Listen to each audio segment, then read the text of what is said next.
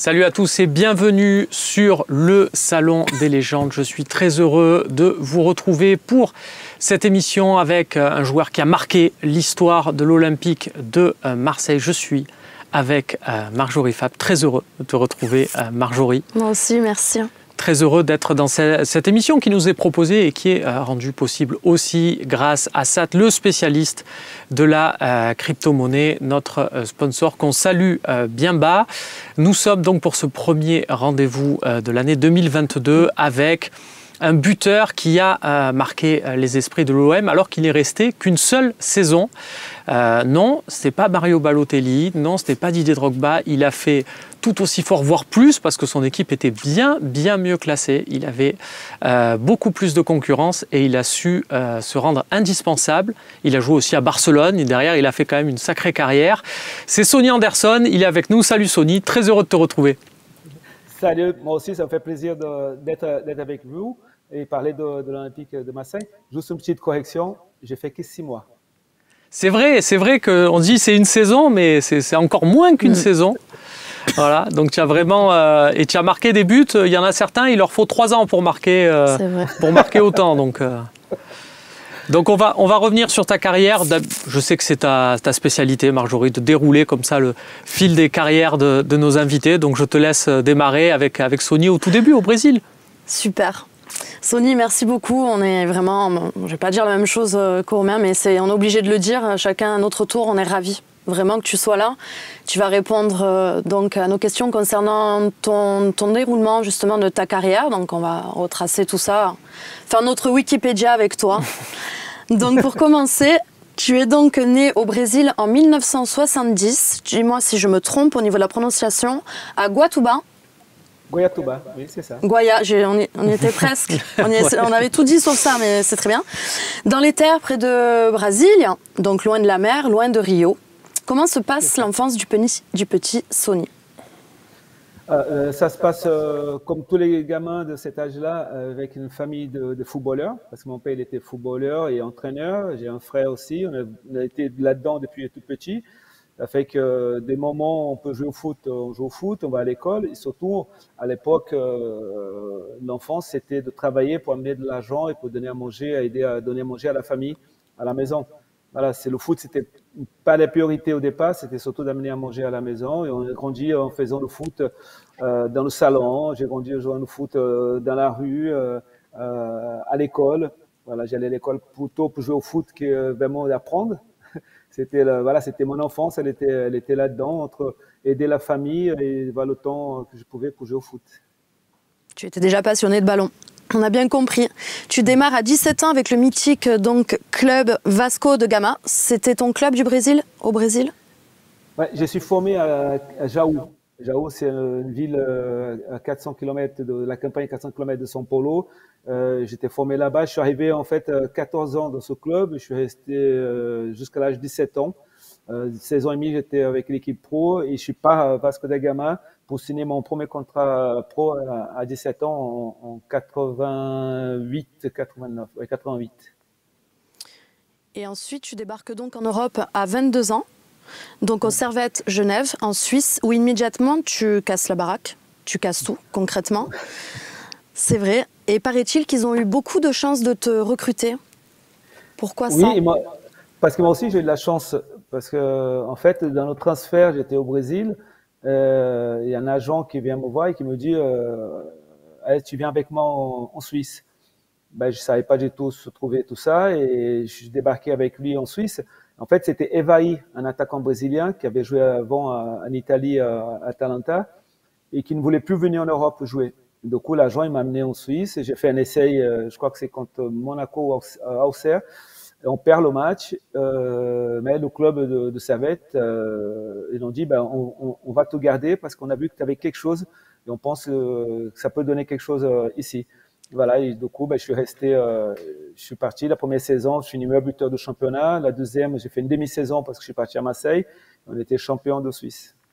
Mais, mais même avant ça, Tony, quand, quand, le recruteur vient te voir, je crois, au, au Brésil, au début, il il, regarde un autre match et puis il reste et il tombe sur ton, ton match presque, presque par hasard, c'est ça C'est la, la légende? Oui, parce qu'en fait, il venait, euh, nous avions joué dimanche, je me souviens, un dimanche contre São Paulo, on faisait 0-0, il était là pour voir des joueurs de São Paulo euh, parce qu'Evaï ne, ne voulait pas venir. Et le lendemain, il est venu euh, dans le club, et, dans mon club, il a dit, ben, je le prends, je l'amène avec moi. Voilà, c'est tout simplement, il n'est pas venu pour me voir dans ce match-là, et parce que bon, euh, il s'intéressait pas vraiment à, moi dans ce, dans ce match-là, mais il a vu qu'il y avait une possibilité de, de m'amener dans ce que j'avais fait dans ce match effectivement, je suis, pas, je suis parti comme ça en, Suisse. Tu marques donc 33 buts en Suisse. Euh, forcément, d'autres clubs de renommée s'intéressent à toi, tels que Benfica, Dortmund, l'OM. Mais toi, dans ta tête, il n'y a qu'un seul club, donc c'est l'Olympique de Marseille. Oui, c'est l'Olympique de Marseille parce que euh, la première chose, on avait fait un match euh, contre eux, et l'autre, c'est qu'ils venaient de gagner la, la Champions League, Marseille. Et, euh, et, dans l'équipe de Marseille, ben, ça me parlait plus euh, dans l'ambiance, dans ce qu'on m'avait raconté sur, sur, Marseille, que je pouvais retrouver cette chaleur de, de Brésil au niveau football, au niveau public. Euh, Marseille champion d'Europe, c'est dur de refuser euh, de jouer avec des joueurs comme euh, comme Voller, Didier Deschamps, euh, Angloma, Jiméco, Barthez. C'est dur de refuser de refuser ça. Et même si je savais que c'était pour six mois, un prêt de, de, de six mois, ben, je dis, ben, je vais tenter ma chance parce que je vais jouer dans le club qui est champion d'Europe. Et euh, voilà, je, je, je, suis parti, je suis parti comme ça parce qu'effectivement, euh, les seuls qui sont déplacés vraiment et qui ont discuté avec le club directement euh, et qui ont montré, qui ont venu vraiment, c'était Dortmund et Benfica. Mais moi, je ne voyais pas du tout aller en jouer en, en Allemagne et plutôt jouer dans un club qui était champion d'Europe. Et c'est fou parce qu'à cette période-là, on se dit, euh, Marjorie, bah, l'OM, ils sont champions d'Europe, tu vois, tout, tout va bien, tu te dis c'est la grande santé, mais la situation du club était très difficile et, euh, et je crois que, Sony, tu vas, tu vas, nous le confirmer, mais c'est le club suisse qui, te, qui, qui prenait ton, ton, salaire encore en, à charge. Tu, tu, tu, as vraiment débarqué en prêt, euh, tu te changeais bon, dans les Algeco à l'époque à la commanderie, enfin, c'est, on est loin de, des conditions d'un club champion d'Europe comme, comme mm. aujourd'hui, quoi. Ben, ben, pas, du, pas du tout, parce que c'est vrai que euh, l'accord entre l'ancien président qui est décédé depuis euh, Paul-Énique Valère et, et, Bernard Tapie, c'était un prêt, euh, un prêt euh, payé, pris en charge par le, euh, par le, par le Servette. J'avais justement le logement, euh, la voiture, plus les primes de matchs à récupérer de l'Olympique de, de, Marseille, parce qu'ils ne pouvaient pas payer un salaire, ne pouvaient pas recruter à ce moment-là par rapport aux affaires qui étaient compliquées. Et effectivement, moi, je, je me suis dit, ben, pourquoi pas Pourquoi pas J'ai eu confiance parce que j'ai senti qu'il allait retrouver cette faveur, cette chaleur que, que j'avais vue euh, au Brésil. Et je savais si j'ai marqué des buts, pouvais, les choses pouvaient bien se passer pour moi. Tu, tu as évoqué euh, Bernard Tapie. Mm. Est-ce qu'on sait que c'est beaucoup de joueurs qu'on a reçus euh, dans le Salon des légendes qui, qui ont évoqué le, le, premier discours avec, avec ce qu'on appelle le boss? Et qui avait euh, voilà qui était capable de transcender comme ça en, en un rien de temps. Est-ce que toi, il a eu des mots particuliers quand tu es venu? C'est quoi votre premier votre premier dialogue à tous les deux? Bah, il y a eu euh, vraiment des relations euh, père et fils parce qu'il m'appelait toujours son, petit brésilien. Quand je suis arrivé, vraiment en confiance dans le, déjà la, présentation que j'ai fait au public, c'était contre match contre le Auxerre. Euh, Giroud, il a porté réclamation, j'ai pas pu jouer. Et ce moment-là, il m'a présenté au public et je suis venu avec lui.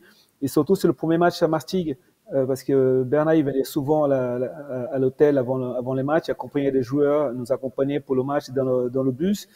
Et, dans le bus pour aller à Martigues, c'est mon premier match, il s'assoit à côté de moi et, et il lui dit, euh, euh, mon petit, tu as, six mois pour, pour briller, euh, pour venir l'Esta, pour briller chez moi. Euh, Aujourd'hui, bah, tu laisses les autres faire, tu joues, mais pas de pression. En fait, il m'a enlevé complètement la pression que j'avais euh, euh, de, ce match-là parce que c'était le match était télévisé, c'était le premier match, tout le monde attendait qu'est-ce que ça va donner euh, euh sur ce match-là avec Marseille. Effectivement, il m'a enlevé toute la pression, j'ai marqué, j'ai fait des passes décisives et à partir de là, ça, tout, est, tout est déclenché. Il a dit, ben, je en plus, ce qui est marrant, c'est qu'il m'avait dit, après le match, je t'avais dit que tu avais six mois. Je t'ai pas dit que tu avais, euh, six heures pour. voilà, et en fait, il m'avait dit que tu as six mois pour briller. Et là, j'ai fait, fait sur le, premier match. Alors justement, en parlant de, de, ce match, lorsque tu arrives euh, à l'OM, on s'attend tous à ce que tu joues donc contre Auxerre, et pas du tout. Tu joueras le suivant contre Martigues. Ça se passe super bien, mais aujourd'hui, avec le recul, est-ce qu'il y a une explication à cela? Au fait que tu n'es pas. Ouais, cette histoire, comment mm. Giroud il a fait en fait pour pas te faire jouer? Bah, Moi, je suis arrivé dans la semaine, dans la semaine, et euh, en fait, le temps de signer le contrat et qu'il soit validé par la, par la Ligue, par la Fédé, ben, euh, en fait, Giroud, il a porté réclamation parce que je suis arrivé, euh, je crois que le, match, il était le samedi, je suis arrivé le jeudi, euh, bon, en fait, le, temps que valide le, le, contrat soit validé, soit homologué par la Ligue, ben, il, a porté réclamation. Son point, après Bernard, il n'a pas voulu, Bernard Tapie n'a pas voulu prendre de risque de me faire jouer, alors que j'aurais pu jouer. Il n'y avait aucun problème, mais on n'a pas voulu prendre de risque, euh, de risque là-dessus. Du coup, ben, on, a perdu le match, crois, 3-0. Mais j'aurais pu jouer ce match-là, mais on a préféré ne, ne pas prendre de risque. Lorsque tu arrives dans ce club, il y a déjà de nombreux champions d'Europe? Tels que Barthez, Boli, Durand, Dimeco. Comment ils se comportent avec toi? Comment t'ont-ils accueilli en tant que ah, petit Brésilien? Très très bien. Très, très bien, parce qu'il y a toujours ce côté euh, mon cœur, ce côté de, de, rigolade à Marseille, qui ça m'a mis tout euh, complètement à l'aise, que ce soit euh, Baz, euh, Jimeco, euh, Barthez, Angloma. J'étais tout de suite accroché par, par, par Bogossian, qui en a fait vraiment les six mois ensemble à, à Marseille, bah, de jouer avec Voller. Ils m'ont mis tous à l'aise. Il y avait pas de, ils montraient pas qu'ils étaient plus forts que moi. Euh, en revanche, ils, m'ont mis tout le temps en, confiance. Les penalties, ils disaient tout le temps, euh, c'est Sony qui va frapper. Le coup c'est Sony qui va frapper. Euh, voilà, ils jouaient pour que j'ai brillé vraiment. Ben, ils m'ont mis tout de suite à, l'aise, à se manquer. Euh, à l'époque, je, suis arrivé de la Suisse avec une petite voiture rouge Mitsubishi et qui euh, du Meco, il disait, euh, oh, c'est quoi cette voiture de l'espace là, Pour rigoler, ils m'ont mis tout de suite à, l'aise pour, euh, pour être performant dans, dans des entraînements et aussi au match. Il y, en a un, euh, quand on revoit un peu les, les images d'archives, on, on, en voit un qui te parle plus particulièrement et ben, c'est ce qu'il fait encore aujourd'hui puisqu'il est devenu sélectionneur de l'équipe de France. Je pense à, mm. bien évidemment à Didier Deschamps. Est-ce que euh, il avait ce rôle-là déjà de, de, par son, son statut de, de capitaine euh, Voilà, pour ton intégration, j'avais l'impression qu'il te, il te parlait beaucoup. Oui, parce qu'il me parlait énormément tactiquement. Euh, sais pas ce qu'il fallait que je fasse techniquement, mais surtout tactiquement, parce qu'on jouait souvent avec deux attaquants. Euh, comment je dois aller me placer par rapport à l'autre attaquant? Euh, Où est-ce que je dois couvrir? Qu'est-ce que je dois revenir pour, pour aider le, euh, pour aider le milieu de terrain? Empêcher les passes euh, qui est faites entre les défenseurs euh, pour pas que mettre en danger le milieu de terrain. Et me placer souvent euh, tactiquement sur le, sur le terrain. Et ça, c'était important pour moi. C'est parce qu'on est attaquant. Euh, j'avais même s'il y avait la couture déjà de la tactique euh, au Brésil, d'arriver dans un championnat euh, que je connaissais pas avec des joueurs et je pouvais qu'écouter l'écouter parce que je venais être champion de champion d'Europe. J'étais des champs capitaine de l'équipe de Marseille. Euh, les conseils ils me donnaient et je prenais et j'ai utilisé euh, à fond parce que c'était pour mon bien. Et, euh, et, je me souviens, tu vois, anecdote, aujourd'hui, j'en ai discuté de ça quelques années plus tard avec celui qui était à l'époque un jeune attaquant dans l'effectif le, dans de l'OM, c'était Marc Libra. Mmh. Il m'a dit quand j'ai vu Sonny Anderson, les frappes à l'entraînement, tout ça, waouh, il s'est dit j'ai un modèle, j'ai quelque chose à, à suivre. Alors, il n'y a pas eu euh, la même carrière, euh, Marco, mais euh, voilà, ça a été une belle source euh, d'inspiration.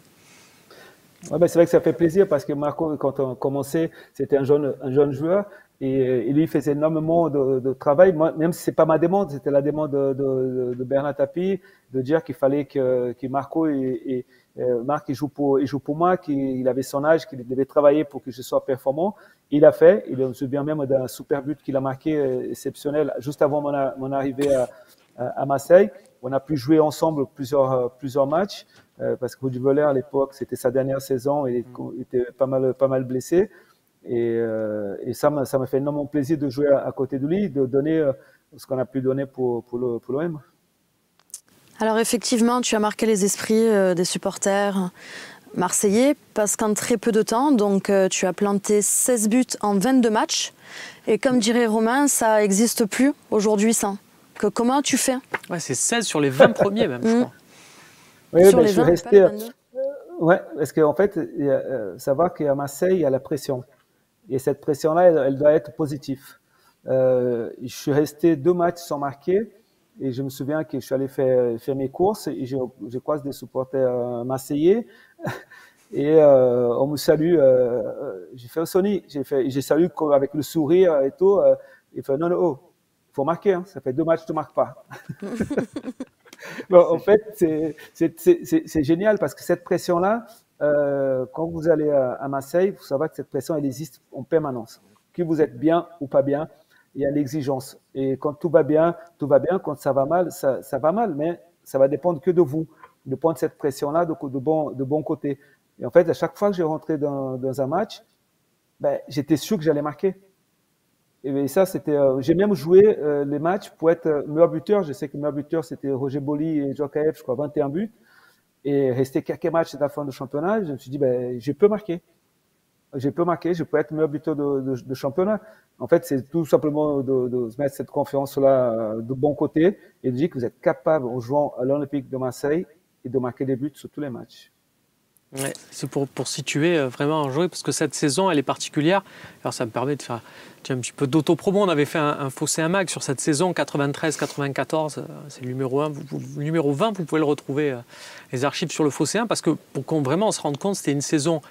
Il y a eu l'affaire VAOM, il y avait, il y avait beaucoup d'histoires, c'était très compliqué, il y avait des jugements, il y avait des procès.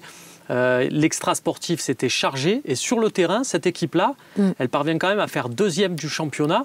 Euh, et ça tient, euh, voilà, sur euh, bah, les buts de Sony, ils sont pour, ils sont pour beaucoup.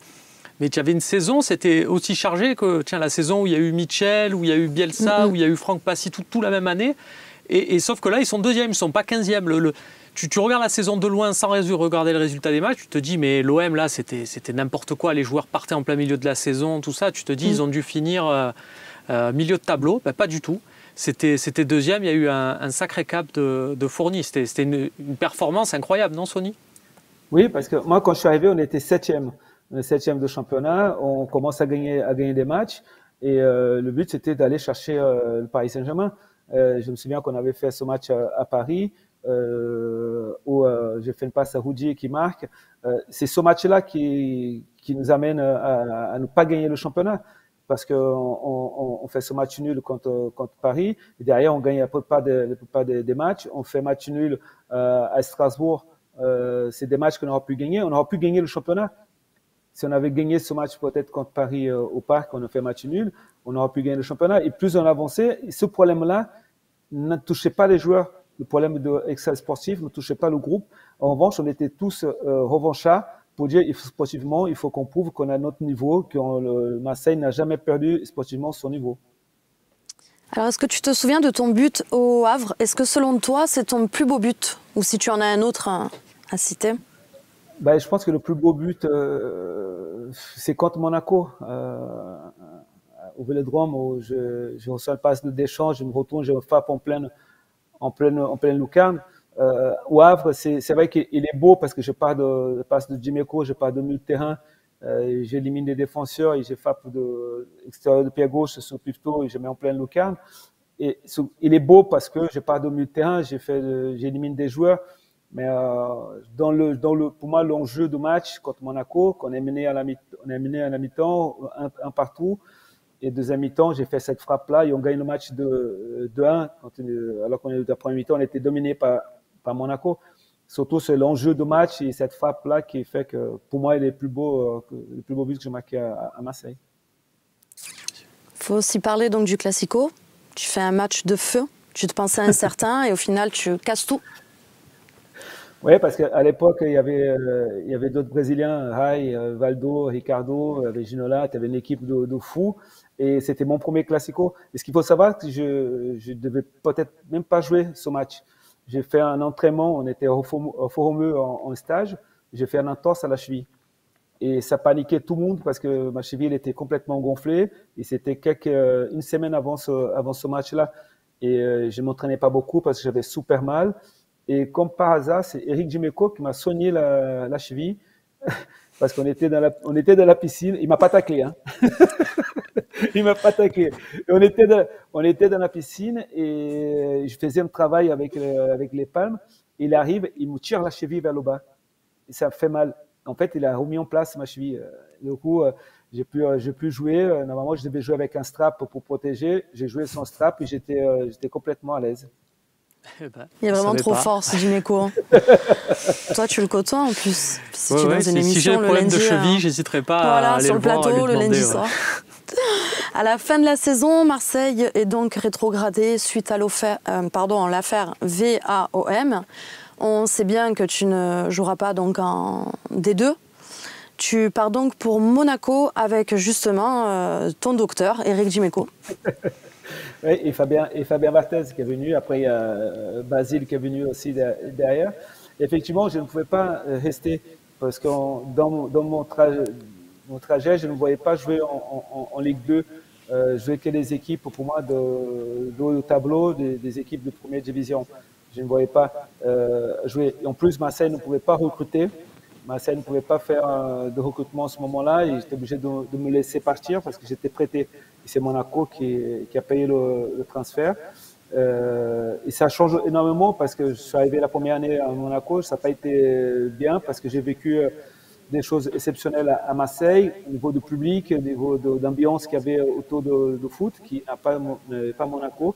ma, première saison à Monaco, c'était compliqué. Mais euh, avant de signer même à Monaco, parce que euh, tu as parlé tout à l'heure jour du match qu'il a fait contre Paris, qui était incroyable. Les Valdo, les Rails et tout, une fois qu'ils l'ont vu en face, le, petit Brésilien, je, suis sûr qu'ils ont voulu aussi te prendre à, Paris. Tu, aurais pu y aller. Mm. Oui, j'ai eu une discussion avec le Paris Saint-Germain à, ce moment-là. Euh, comme j'étais euh, j'étais libre, euh, libre. J'étais, je partenais au Servette. Le Servette voulait me vendre parce que c'était une, possibilité pour eux de, de, gagner de, gagner de l'argent. J'ai discuté avec Paris, mais Paris Saint-Germain, je trouvais que c'était un manque de respect par rapport à ce que j'avais fait à Marseille, de me proposer un an en prêt. J'ai dit non, je, pense que j'ai déjà prouvé que je ne suis pas là pour faire des prêts, pour être prêté. Euh, je trouvais que c'était un manque de respect euh, vis-à-vis de, moi par rapport à ce que j'ai fait. Et je suis pas parti, à, suis pas parti à, Paris parce que pour moi, ils ont manqué de respect en parlant que j'allais être prêté euh, un an. Voilà, effectivement, ils ont essayé. On a discuté pas mal, mais ça n'a pas pu se faire. Sony, en division 1, tu t'affirmes? Parce que tu commences à avoir ton propre style. le, le remonté de chaussettes. Est-ce qu'on peut en parler un petit peu? Oui, ben, elle, était, elle était déjà depuis, euh, depuis euh, le Servette et encore plus à, Marseille. En fait, euh, c'est commencé parce que je, dans les matchs, j'étais fatigué. C'était une façon pour moi de me récupérer, de, de récupérer, de revenir au, calme. Et je baissais les chaussettes, je remontais. Et quand je remontais les chaussettes au-dessus des genoux, je me sentais mieux. J'étais plus à l'aise. J'étais, voilà, ça me donnait une certaine confiance. Et ça a commencé comme ça. Et quand j'étais super bien, j'ai dit, ben voilà, je peux être bien tout le temps, pas besoin d'être fatigué pour monter les chaussettes. Et c'est comme ça, j'ai commencé à voir euh, ce style-là et je commençais à être bien à chaque fois que je montais les, chaussettes. Et c'est resté, après, c'est un geste qui est resté, euh, resté euh, pendant, pendant toute ma carrière. Bah, c'est resté pas que chez toi d'ailleurs, parce qu'il mm. il y a des petits jeunes à Monaco qui après ont fait une petite carrière, comme par exemple Thierry Henry, qui ont pris, le, qui ont pris la même manie. Et Thierry, j'ai discuté avec Didier la dernière fois quand on s'est vu à, Marseille. Il m'avait dit qu'il avait fait ça pour moi aussi, les chaussettes. Et ça, je ne savais pas. Et Didier, ben, ça me fait énormément plaisir euh, que tu me dises ça. Effectivement, il y a eu des joueurs qui ont, qui ont fait. Parce que en fait, c'était c'est un style, c'est un style, ça peut être un style euh, bien ou pas bien pour certains, mais moi, c'était par rapport à la mise en confiance que j'avais. Je me sentais super bien euh, avec ça. Aujourd'hui, il y en a beaucoup qui le font. Maintenant. Tu reviens au stade Vélodrome donc en 1996 avec Monaco. Ils sont leaders, donc tu fais partie euh, euh, de ces leaders. L'OM remonte tout juste. Mais l'OM reste bienveillant avec toi parce qu'on t'applaudit même quand tu marques des buts. Ce qui est incroyable quand même. Et tout ça en étant resté que six mois. Qu'est-ce que tu leur as fait bah non, bah. Bah, moi, le plus fort, le moment le plus fort, c'était quand on a été éliminé quand même à Marseille de la, de la Coupe de France. Où j'ai raté, euh, j'étais moi le tireur de penalty et moi j'ai raté le penalty. On a éliminé contre Montpellier euh, à, à, la maison et le public m'a applaudi. Euh, ils ont ils ont pas insulté. Et derrière, derrière, je reviens avec avec Monaco. Il faut savoir que moi, je n'ai pas l'habitude de critiquer et je n'ai pas de raison de critiquer les clubs où je suis passé parce que j'ai vécu des bons moments et euh, ils m'ont toujours apporté quelque chose. J'ai toujours dit que Marseille, euh, c'était le démarrage de ma saison, de ma carrière, vraiment, euh, vraiment, parce que ce que j'ai fait à Marseille en six mois, ça marquait tout le monde. Et derrière, c'était la confirmation. Je pense que j'ai toujours respecté les clubs, j'ai toujours respecté les, les joueurs où je suis passé, même les supporters, j'ai toujours respecté. Pense que ça, c'est, ils ont, pas vraiment le joueur, mais aussi l'homme qu'ils ont respecté. Tu quittes euh, donc l'Olympique de Marseille pour Barcelone en 1997. Non, Monaco. Oui, Monaco pour Barcelone en 1997 avec un titre de champion de France. Est-ce qu'il te suivait depuis longtemps? Tu étais suivi euh, depuis longtemps par Barcelone? Euh, Non, non, non, j'ai été suivi par Barcelone la dernière saison, cette saison-là. Euh, cette saison-là, j'ai su que j'étais suivi par Barcelone juste à la fin de quand on fait un match à Metz. j'ai fait un super match, on gagne 3-0, j'ai marqué un super but et il y avait le coach Van Gaal qui était sur la, sur la, tribune et qui c'est à partir de ce match-là. Avant, je n'avais pas, euh, j'avais pas le sentiment où ma personne m'a dit que que, Barcelone était là. En revanche, j'avais beaucoup l'Inter de Milan qui m'avait suivi depuis longtemps pour m'amener euh, en Italie. Et, euh, mais pas, pas Barcelone. Barcelone, c'était vraiment cette saison-là où j'ai fini, on est champion, j'ai fini meilleur joueur du championnat, euh, championnat de France. Et cette saison-là, il était exceptionnel. Euh, pas autant de buts parce que j'ai marqué que 19 buts et je n'ai pas été meilleur buteur de, championnat, mais surtout euh, dans l'ensemble, c'est ma meilleure saison. Tu as vu comme il est, il te dit j'ai marqué que 19 buts, mm. c'est vrai, c'est tellement pas terrible. C'est pas terrible 19 buts. C'est vrai que cette saison-là, Monaco, ils étaient champions, ils étaient devant euh, dès le début. Mm, mm. Et tu disais que l'Inter de Milan te suivait. Finalement, l'Inter de Milan ont pris l'attaquant de Barcelone, à savoir un certain Ronaldo. Bon, pas mal. Et, du coup, toi, tu es allé à Barcelone et tu te dis, est-ce que tu te dis pas, mais je, vais dans un truc de fou, c'est-à-dire que je dois remplacer Ronaldo, enfin R9. Est-ce que tu te, tu te dis pas, euh, c'est, ça, ça, peut être un challenge, euh, c'est, fou quoi comme challenge ben, Ça, ça fait partie de, la carrière d'un joueur et ça fait partie de, ma carrière. Parce que si on rappelle bien, je suis venu euh, remplacer Alain Boxic à, Marseille, j'ai remplacé Griezmann à, à Monaco et je viens remplacer euh, Ronaldo à Barcelone. Ben, surtout, c'est qu'on n'avait pas vraiment le même, euh, le même style de jeu et que euh, j'avais confiance, en, moi. Je ne regardais pas vraiment, je viens pour remplacer quelqu'un. Voilà, parce que sinon, vous ne réussissez pas. C'est surtout les gens qui pensent qu'il oui, va remplacer parce qu'il va, est-ce qu'il va jouer pareil que lui? Est-ce que, voilà. C'est tout le, regard des gens, la presse qui parlait énormément, il vient remplacer Ronaldo. Euh, on ne venait pas pour remplacer Ronaldo parce que ce n'est pas, possible de remplacer Ronaldo. On parlait de Van Gaal tout à l'heure. Dugarry nous a raconté euh, qu'il a fait jouer milieu défensif. Et il t'a fait quoi à toi? Milieu défensif. Aussi, tout le monde. Tout le monde. Et euh, en fait, on avait un match, on avait trois matchs joués contre Valence. C'était le match, deux matchs de coupe aller-retour plus le championnat. Et Van Gaal, comme j'étais bon au niveau physique, je pouvais euh, faire des efforts. Et euh, Van Gaal a dit, ben, tu auras trois, trois matchs à faire et trois matchs pour défendre euh, euh. Et, et aujourd'hui, quand j'ai fait des matchs de Barça Légende, je, on croise, je croise Menjeta, on discute de ça, ça, le, ça lui fait rire parce que lui, il était pas au courant, il comprenait surtout pas pourquoi moi, en tant qu'attaquant, j'étais en train de faire un marquage individuel sur lui.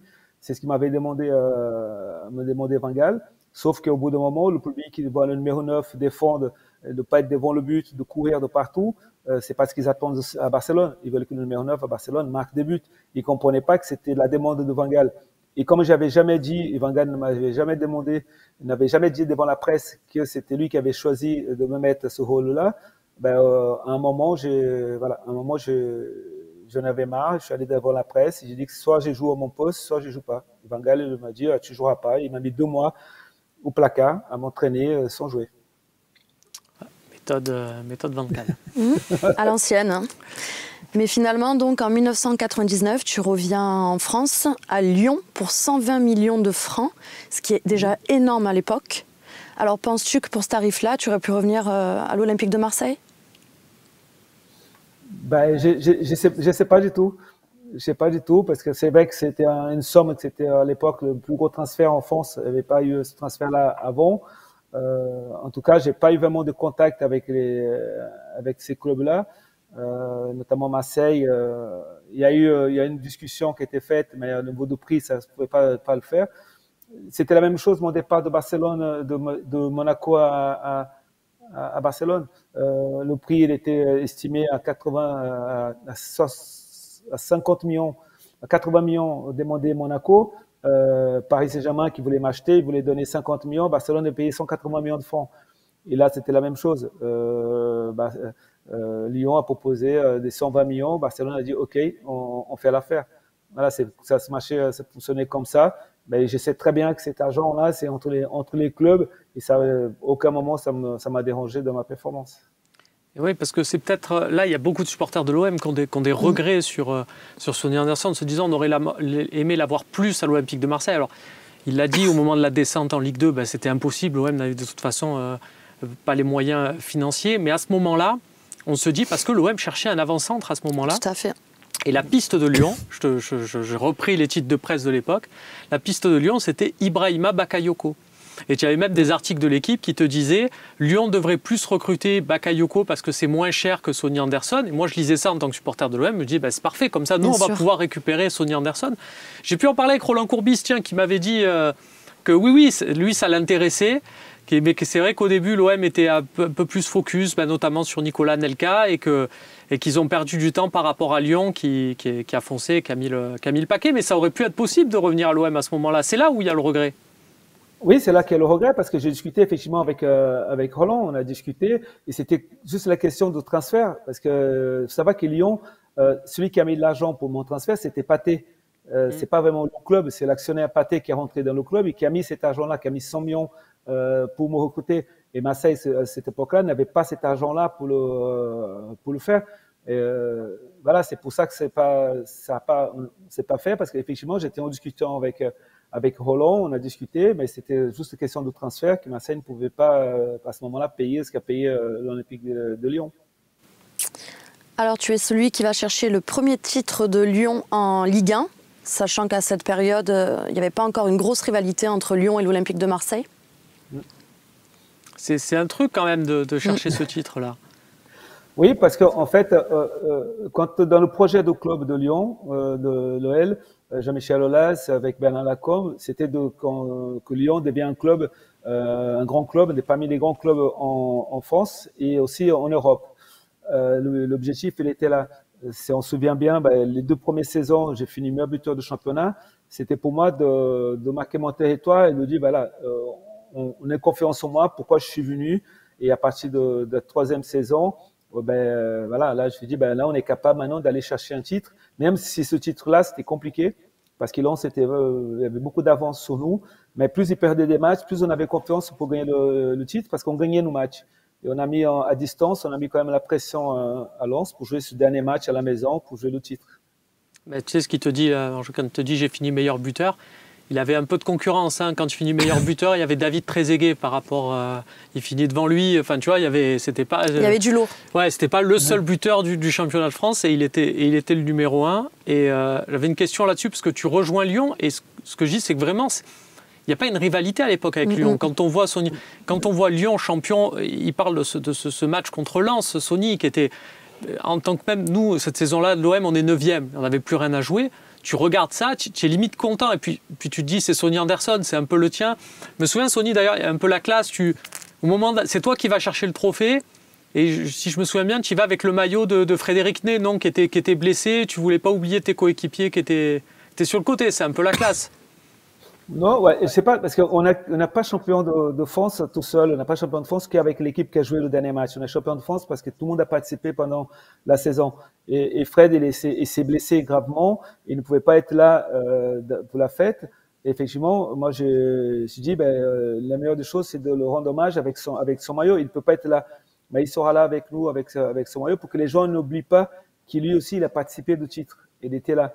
Et voilà, et c'est pour ça que euh, c'est le collectif qui gagne. Euh, quand on parle, euh, ça peut être banal pour les gens d'entendre, c'est le collectif au premier. Oui, quand vous gagnez un titre, c'est pas les dernières équipes qui a gagné, c'est quand même, c'est pas le dernier match, c'est quand même la saison qui a été faite qui a fait qu'on on a gagné ce titre-là. Oui, tu vois, c'est ça, je te disais, c'est la classe. Mais là-dessus, c'est vrai que quand on a annoncé aussi Marjorie de Sonny Anderson, il y a toujours des messages pour te dire Ouais, mais Sonny Anderson, c'est un attaquant de Lyon. Donc tu te dis ben, C'est des gens qui l'ont pas vu jouer à l'OM. La rivalité vraiment avec Lyon, elle démarre après avec les déclats, notamment de, Jean-Michel Aulas. Euh, toi qui l'as connu euh, et qui le connais très bien, Jean-Michel Aulas, euh, même après ton passage à, Lyon en tant que joueur, tout à l'heure, on parlait de Bernard Tapie. Est-ce que est-ce que c'est comparable? Oui, c'est comparable parce que tous les deux veulent le meilleur pour le club. Ça, c'est une évidence. Bernard, il a tout fait pour que Marseille gagne la Coupe d'Europe, Marseille soit le plus grand club en, France. Et Jean-Michel Aulas, il fait, la même chose pour que Lyon soit le, il a toujours fait pour que Lyon soit le meilleur club, il a toujours défendu son, son club. Euh, oui, il est comparable parce que dans, dans le travail que j'ai eu avec, avec lui en tant que joueur, j'avais toujours cette confiance et toujours ce côté paternel qui, qui était le, le sien avec, euh, avec moi, à l'écoute. Et euh, quand on parlait des choses qui allaient pas ou des choses qui allaient, euh, il nous écoutait énormément, notamment, notamment moi, qui j'étais à l'époque le capitaine de, de l'équipe. Alors effectivement, à Lyon, euh, l'année suivante, tu marques énormément de buts, ce qui permet à Lyon d'être à nouveau champion. Mais tu partiras en fin de contrat donc à Villarreal. Euh, club euh, mythique aujourd'hui, mais qui n'est pas ce qu'il était. Enfin, voilà, il n'était pas à l'époque ce qu'il est aujourd'hui. Pourquoi ce choix à 31 ans, Sony Alors, il faut savoir, c'est que moi, j'avais un an de, il me restait un an de contrat à Lyon, et j'avais une, une, lettre de sortie euh, que j'aurais dû envoyer si jamais je restais pas à Lyon, je décidais de, de, partir librement. Et comme euh, on m'a fait comprendre que le coach à l'époque, euh, Paul Louwen, ne comptait pas sur moi pour la saison d'après, ben, j'ai dit, ben, je partirai. Mais j'avais pas de club quand je suis parti. J'avais aucun club euh, parce que c'était pas dans mon idée de partir. J'ai pas négocié. Mes agents à l'époque n'ont pas cherché un club euh, pour que je parte de, de l'Olympique euh, lyonnais. Euh, je suis parti en vacances. Je suis parti à, à, à Murano à me faire, me faire soigner, à continuer à m'entraîner parce que si jamais un club qui qui vient.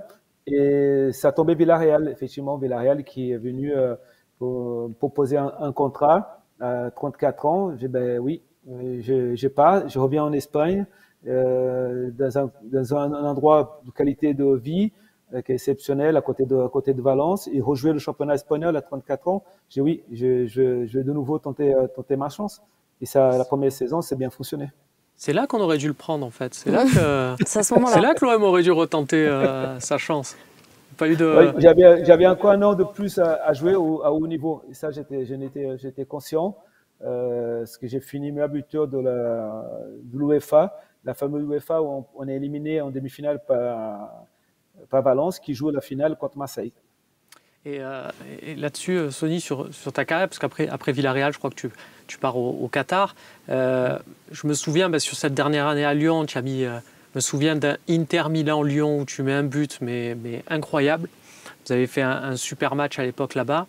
Euh, tu n'as pas des regrets parce que tu avais un niveau quand même pour jouer euh, euh, aussi en Serie A, en Première Ligue. Tu aurais pu connaître ces ambiances-là euh, que tu as couvertes après avec, avec Beansport. Est-ce que une fois dans ces stades, en Italie, en Angleterre, tu t'es dit j'aurais pu, j'aurais pu y être ou, ou tu changes rien?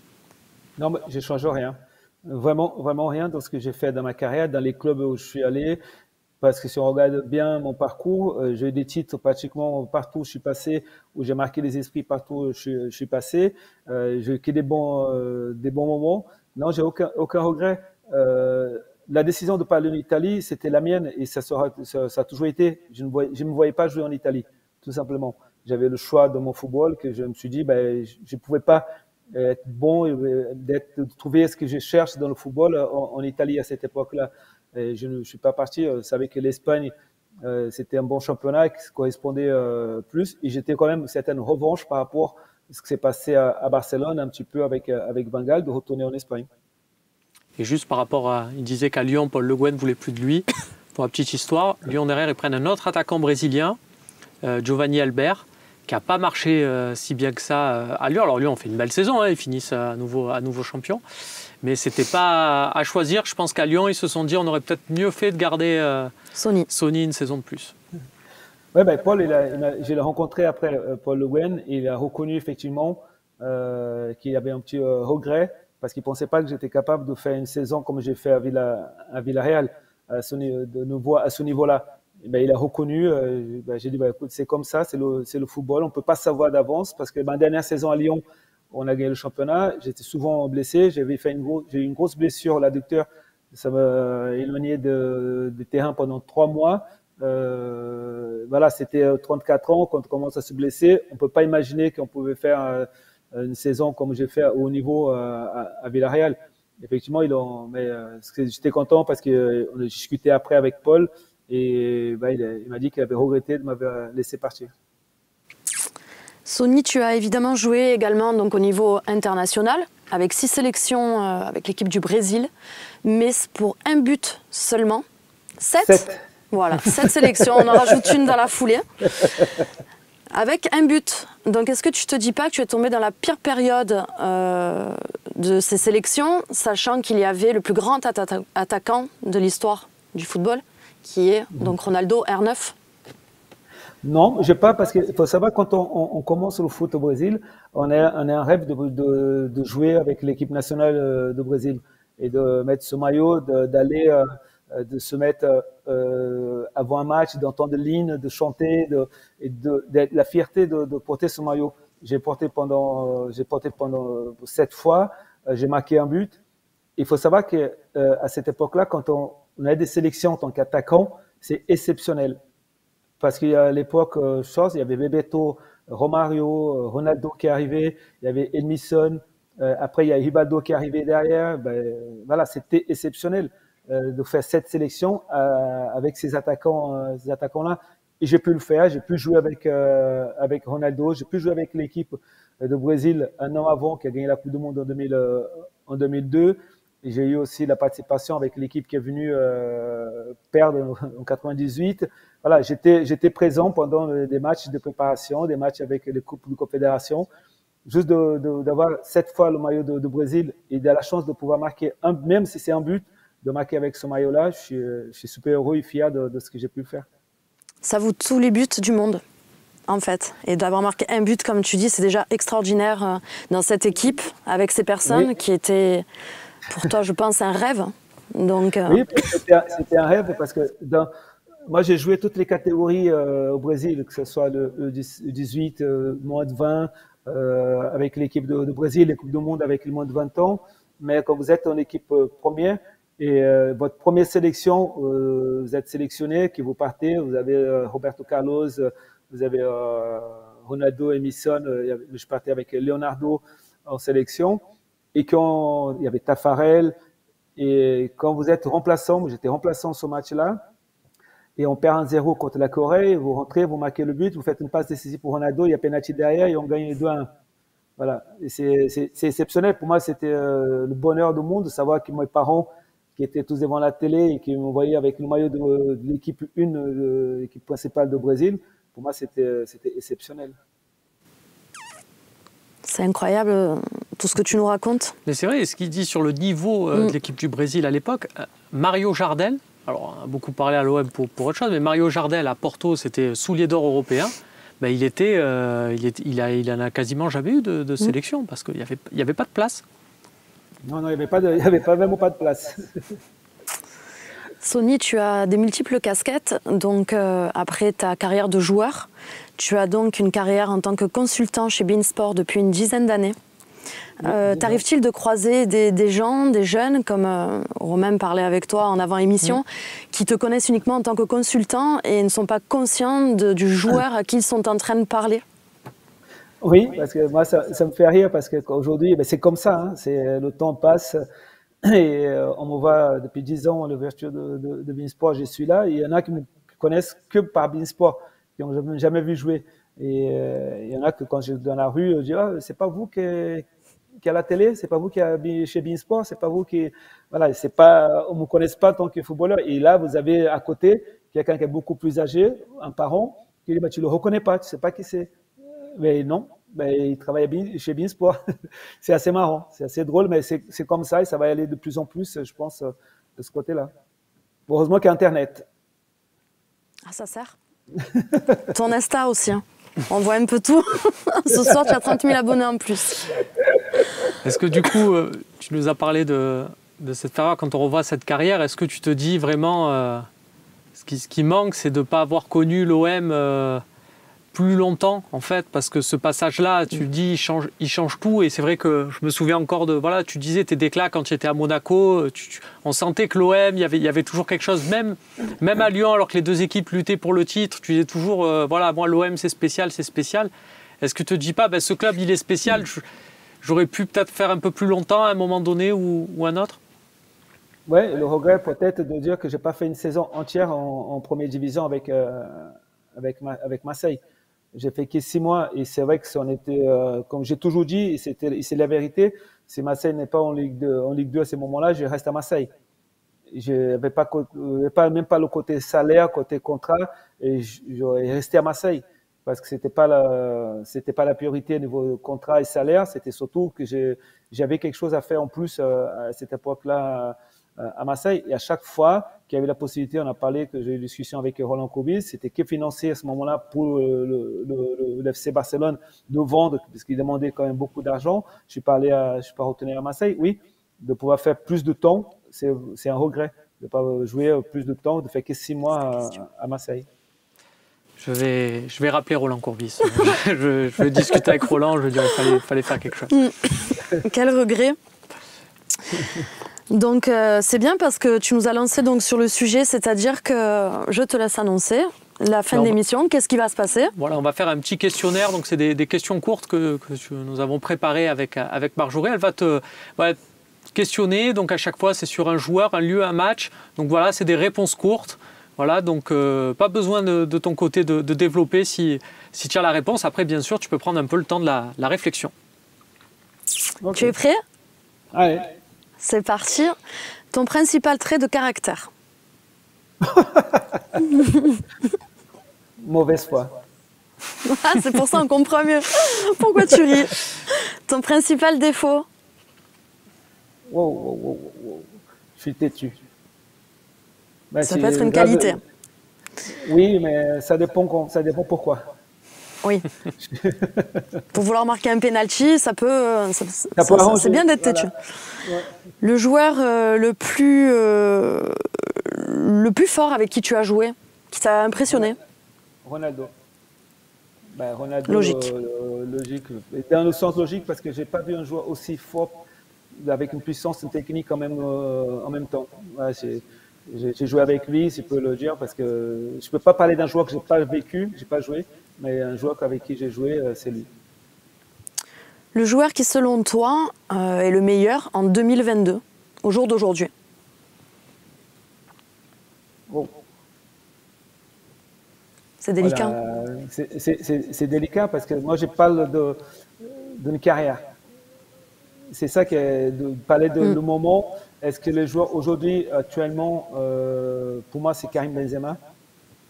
Aujourd'hui, c'est Karim Benzema le joueur le plus fort euh, aujourd'hui euh, euh, parce qu'il il, a duré pendant des années au Real, il continue à le faire. Le Real n'a jamais le même, il continue à être décisif dans n'importe quel match, capitaine. C'est un joueur qui est complet. Pour moi, c'est Karim, Benzema. je mettrai devant, pour l'instant, je mettrai devant tous les autres parce qu'ils n'ont pas fait encore la carrière de Karim. Je parle de Karim parce que Karim, est, il est exceptionnel. Il a 33, 34 ans, il est là il est encore là. Tu étais revenu, euh, si je me souviens bien, pour entraîner les attaquants à, Lyon. Euh, donc j'imagine que tu as dû croiser euh, Karim Benzema tout jeune. Qu'est-ce que, qu'est-ce que, quels étaient vos échanges à ce moment-là, alors qu'il n'était pas encore en équipe première à Lyon? Oui, mais il était demandeur. Il était demandeur de travail. Il posait des questions. il était à l'écoute. La seule chose qui, que les gens ne savent pas, c'est que Karim, il avait confiance en lui énormément, mais c'est pas pour ça qu'il l'écoutait pas. C'était quelqu'un qui avait énormément confiance dans ce qu'il était capable de le faire. Euh, S'il faisait un choix, c'était pour lui le meilleur choix, mais il était à l'écoute. Quand on parlait, euh, tu aurais pu faire ça, tu aurais pu faire autre chose, il écoutait, il essayait, il, travaillait euh, beaucoup euh, à, l'entraînement. Voilà, on échangeait beaucoup et c'est surtout qu'il était à l'écoute. Je pense que d'être à l'écoute de tout le monde, euh, de ne pas avoir euh, raison à chaque fois que vous faites un choix, mais d'être à l'écoute des autres, ça, l'a fait progresser. Très bien. Tu valides? Oui, c'est validé. le joueur le plus fêtard dans, celui qui t'a fait le plus rire ou un peu le plus fou dans les vestiaires ou, ou qui sortait le soir en cachette. Voilà. Fais-nous rêver un peu. Fais tard, fais tard, c'est voilà, hein, c'est les boîtes de nuit, c'est ceux qui Ah, arrivent, on euh, reste que dans d'accord. qui arrivent tôt le matin. Qui arrive tôt le matin, moi je, moi je peux dire que je faisais partie? Non.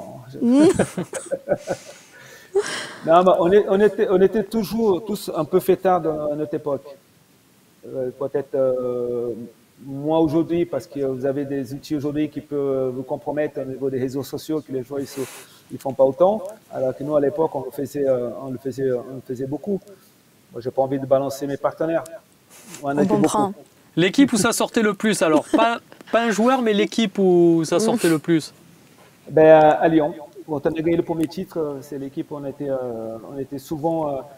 C'est pas qu'on sortait, c'est qu'on on faisait des choses qu'aujourd'hui, si quand on parle, les gens ils pouvaient pas imaginer.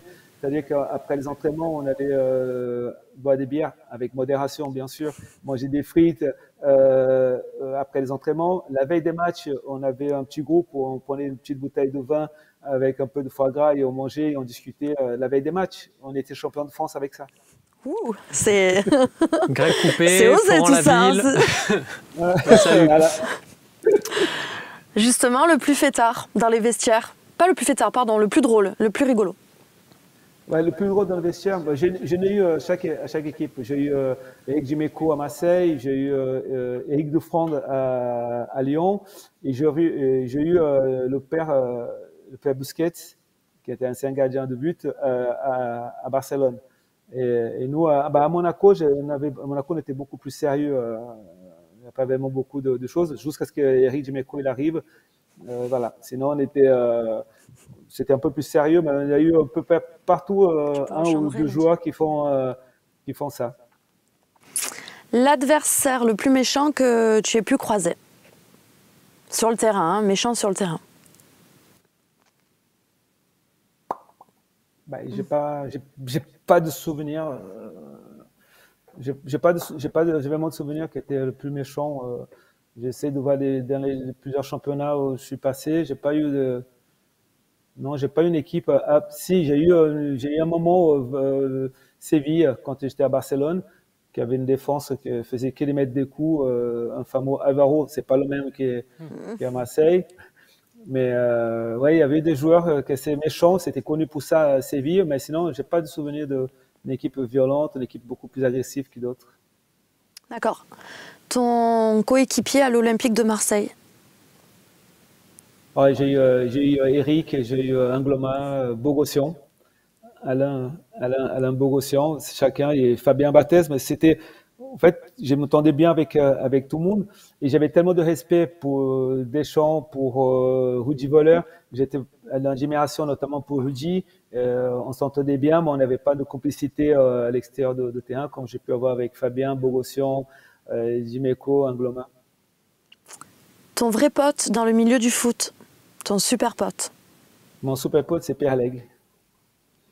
Pierre on est, euh, on est, à- on est à Lyon, euh, même s'il n'est pas euh, dans le milieu de foot ni euh, audiovisuel aujourd'hui, euh, mais on est arrivé en même temps à, à Lyon.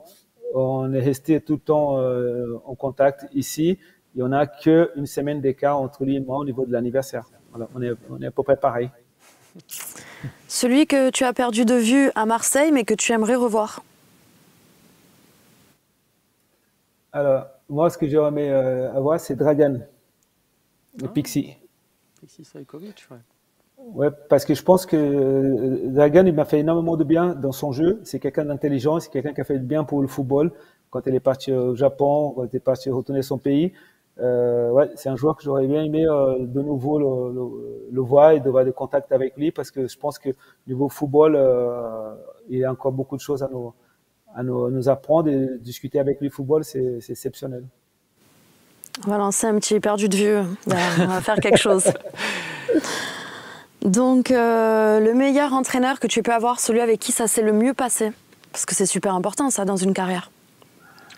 Ouais, à part, à part Van qui s'est pas très bien passé, mais que j'ai appris aussi des choses pour ma réussite à Lyon, euh, je n'ai eu que des bons. J'ai eu que des, qui m'ont tous appris, euh, appris quelque chose. Moi, je pense que c'est Jeannot Tigana, celui avec qui, qui j'ai appris plus de choses c'était le professionnalisme déjà. Quand je suis arrivé à, Monaco avec avec lui, au niveau de la nourriture, au niveau des horaires, au niveau de l'exigence dans, dans l'entraînement, parce qu'il est venu, c'est quelqu'un qui avait fait de haut niveau en tant que, en tant que joueur, et qui m'a appris énormément de choses. Jeannot, pour moi, c'était celui qui qui m'a apporté énormément dans ma carrière. Et à l'inverse, celui malheureusement avec qui ça s'est euh, mal passé, ou ah. peut-être qu'il n'y en a pas? Je crois qu'on a la réponse. et, sportivement, je peux dire que c'est Vangal.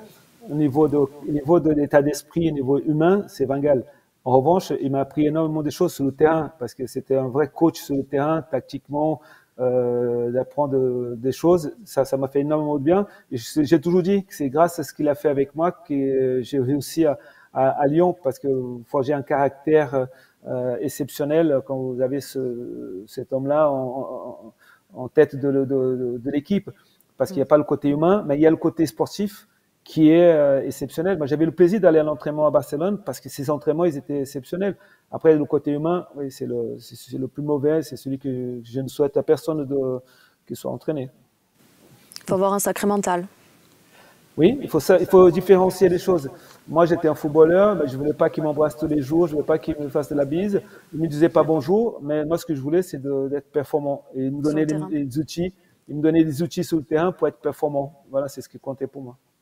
Si tu avais le sort d'un match, c'est ça où j'ai dit changer, ouais, c'est ça. Non, non, mais c'est ça. Si, tu peux changer un match. Un mot. Si tu pouvais changer, donc le, oui, un match, ce serait lequel? Le sort d'un match. Le sort d'un match. Wow, wow, wow, euh, je sais pas, voilà, je sais pas. Alors là, un sort de match, je, je, je, sais pas parce que c'est, il y a plusieurs matchs qu'il y a des faits de jeu qui fait qu'on, perdu. Il y a des matchs qu'il y a eu, il n'y a pas eu la réussite, j'ai eu l'échec, mais ça m'a amené la réussite par la, par la suite. Bah, j'ai pas vraiment un match, euh, match peut-être le 3-3 Lyon, euh, Lyon euh, Inter à la maison, si on gagne ce match-là, on, on passait pour la deuxième phase de groupe. À l'époque, c'était comme ça la, Champions League. C'était ce match-là, peut-être qu'on méritait de, de, se qualifier. On fait 3-3 à la maison et on est, on est éliminé. As-tu une anecdote à nous raconter avec un supporter de l'OM Quelle est ta meilleure ben, anecdote?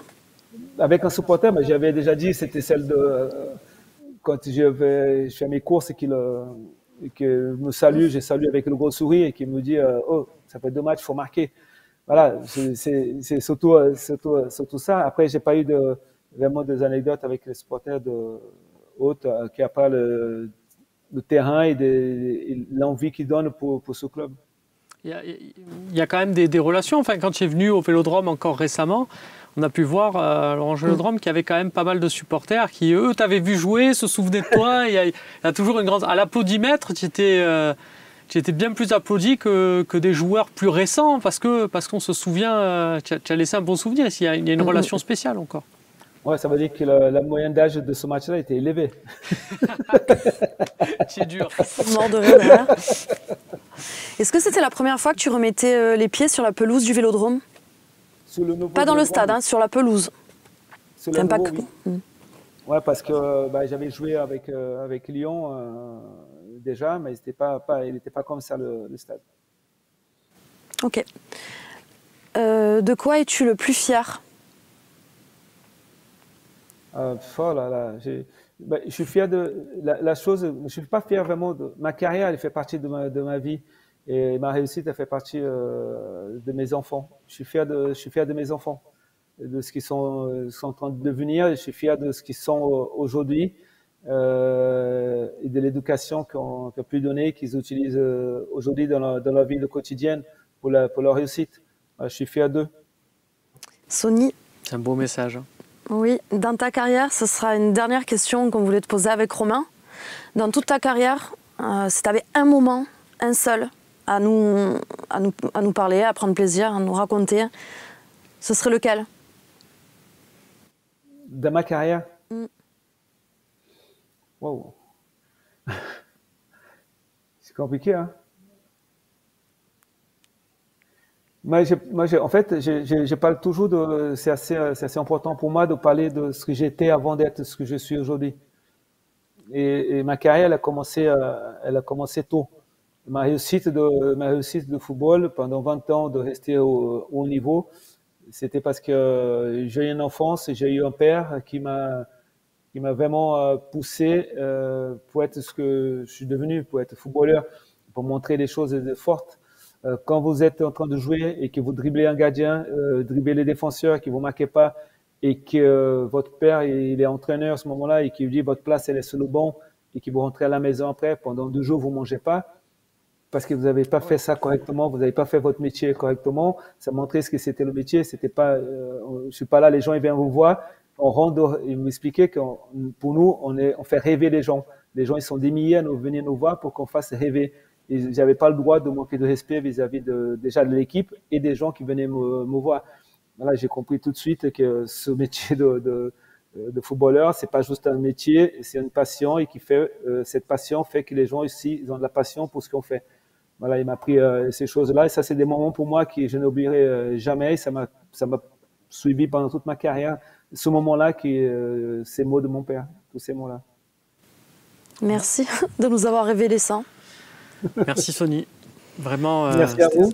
C'était super de, de t'avoir et c'est une belle leçon et c'est surtout, j'espère que parmi euh, ceux qui, tous- les spectateurs, les supporters de l'OM qui nous regardent, il y en a qui se, qui se rappellent donc cette saison que tu as faite. Tu n'es pas resté longtemps, mais, mais vraiment merci pour ce que tu as, tu as fait à l'Olympique de Marseille. Voilà, petit message. Je sais que tu es un des joueurs préférés de notre patron. Voilà, Sébastien Volpe. C'est vrai.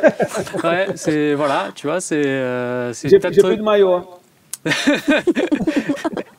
tant pis pour tant pis pour lui, mais tu vois quelque part, je te dis ça moi parce que tu es un de ses joueurs préférés. Derrière, il a fait un site sur l'OM. Aujourd'hui, c'est mon métier. Peut-être que sans toi, ben j'aurais pas j'aurais pas ce poste-là, j'aurais pas ce métier-là. Donc c'est aussi grâce à toi. Je te remercie. On te remercie tous Bah, en bah, fait. Bah, merci, Merci.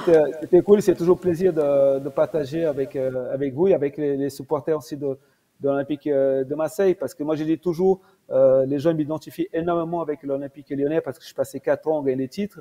Et les gens, ils oublient euh, ce que l'OM m'a donné et que je remercie énormément l'OM aussi de ce qu'ils ont fait pour moi. Et ouais, toi, tu n'oublies pas l'OM et ça, c'est beau. Merci beaucoup, Sony. Euh, bonne continuation. On sait que tu es conseiller euh, du président à Lyon-la-Duchère. C'est un club qui est en, en National 2, qui a joué tiens, contre, contre la réserve de l'OM. On te recroisera donc avec, euh, avec grand plaisir. Merci beaucoup, Sony. Merci beaucoup. Merci. Merci, à bientôt. À bientôt.